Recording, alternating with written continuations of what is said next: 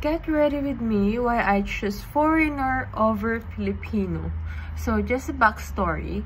Um, I keep telling this when I was in college, like future college na, ah, mag-asawa na ako ng foreigner. Sabi ko, na, bukang big ko na siya. So, there's behind it, of course. One, because their hair so babaero. I'm, I'm so scared for, natatakot ako na, alam mo yun, ang daming Pilipino na sobrang babaero. Two, they are mabisyo. As in, in inom, alak, barkada. They even choose barkada over their wife or girlfriend. And mataas ang pride. Anyway, yeah, I supposed to put makeup on. And they are tamad. Oh, sorry. Mataas din ang pride nila.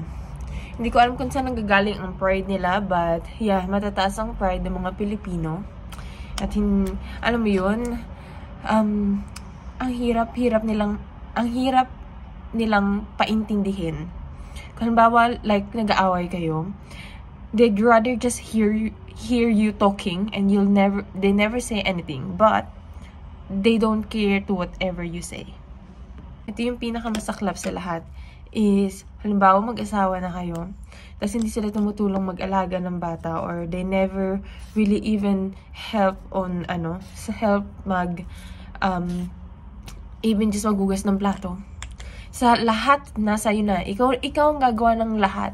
Ikaw ang gagawa ng paghugas, paglaba, pag-alaga. They never help. Maybe merong iba, pero iilan lang talaga sa mga Pinoy yung tumutulong na mag-alaga ng anak at mag maglinis ng bahay. The last one, five. They're very spoiled. Yung ini-spoil sila ng mga parents, ng mga parents natin, na pagka lalaki, kesyo lalaki, kailangan, they don't do anything in the house. Kailangan magtrabaho lang sila, or tumambay lang sila, and kasi they are the one gonna inherit the house, they have, they should not to do this, they should, the wife should do that for them, and sobrang nakaka-toxic nun. As in, hindi ko alam kung bakit. Di ito sa Europe, mostly ng mga lalaki dito, I never seen them na yung spoiled. They always, they work for themselves to earn money. But in the Philippines, they just tambay.